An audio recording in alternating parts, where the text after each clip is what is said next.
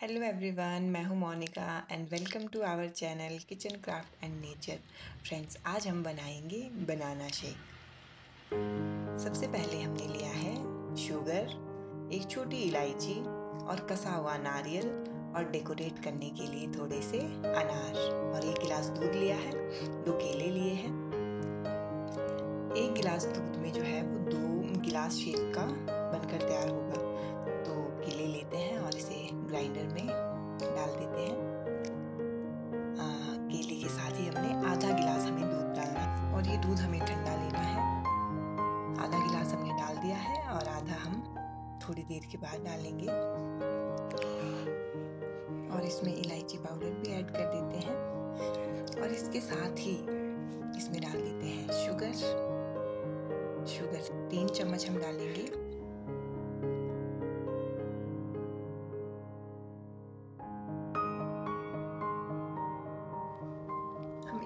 साथ ही ग्राइंड करने को आइस क्यूब भी डाल सकते हैं, यदि हमें चिल्ड चाहिए। और थोड़ा सा नारियल पाउडर भी ऐड कर देते हैं।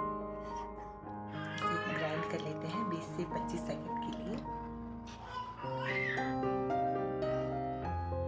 थोड़ा सा ग्राइंड हो चुका है, इसके बाद हम दूध ऐड कर देंगे और फिर से इसे चलाएँगे तो फ्रेंड्स देखिए, हमारा शेक बिल्कुल तैयार है।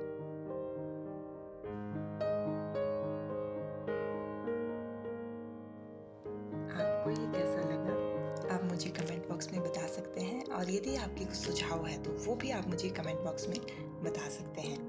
इसे थोड़ा सा हम डेकोरेट कर लेते हैं।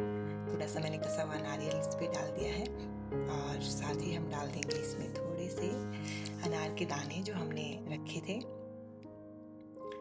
अनार के दाने भी इसमें ऐड कर लेते हैं। इससे, ये थोड़ा डेकोरेटिव सा लुक देगा। Friends, please like, share and subscribe our channel. And thank you for watching.